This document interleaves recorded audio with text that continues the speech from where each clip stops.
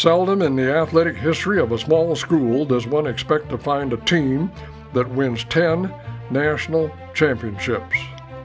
But the GC track and field teams in 2001, 2002, and 2003 accrued five national championships and one national invitational title in just three seasons. They defeated the six time NCCAA champs, Taylor University, and went on to compete in the NCAA Division III National Championships. The coach for these three teams, and still the incumbent, Brian Patton, along with his coaching staff, received Coach of the Year awards, both national and regional.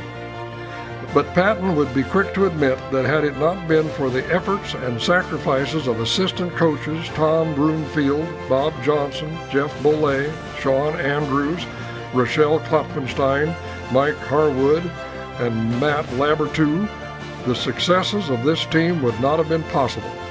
The determination, discipline, and concentration exhibited by the student athletes revealed a dedication often envied not only by other sports teams and individuals, but admired by many engaged in unrelated endeavors.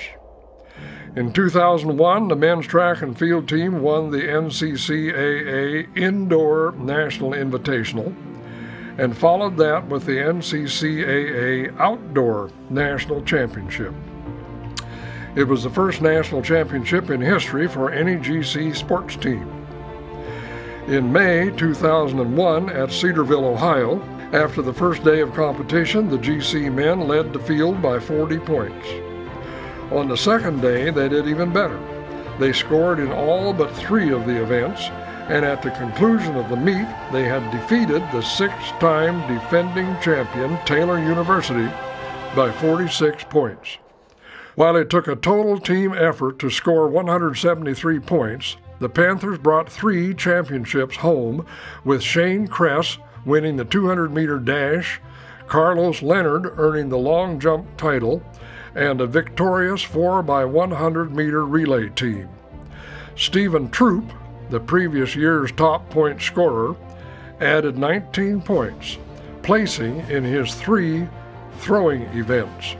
Five of these outstanding athletes also received academic All American honors, each of whom had achieved a 3.73 or higher cumulative GPA.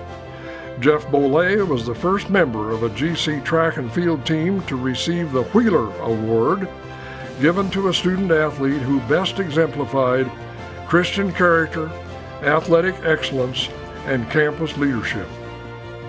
The 2001 team was well represented at the NCAA Division III Championships, finishing 29th at the Outdoor National Meet.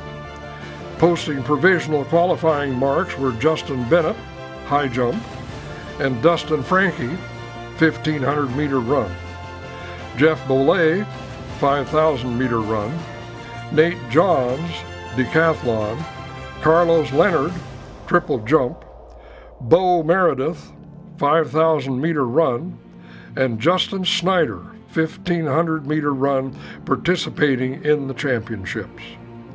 Both Johns and Snyder earned NCAA Division III All American status, with Snyder finishing eighth in the 1500 finals, while team MVP Nate Johns claimed the title of a national runner up in the decathlon.